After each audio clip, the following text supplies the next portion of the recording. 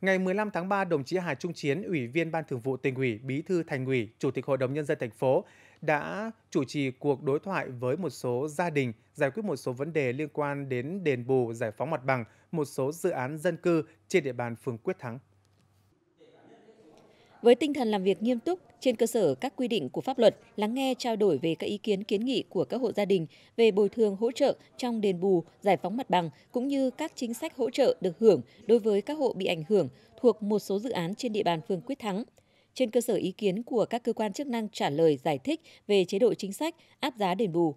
đồng chí Hà Trung Chiến đề nghị các hộ gia đình chia sẻ, đồng thuận trong thực hiện các dự án, yêu cầu Ủy ban nhân dân thành phố xác định lại toàn bộ diện tích của dự án, diện tích các hộ gia đình bị ảnh hưởng. Trên cơ sở của pháp luật, nghiên cứu, xem xét giải quyết các kiến nghị phù hợp, đúng quy định,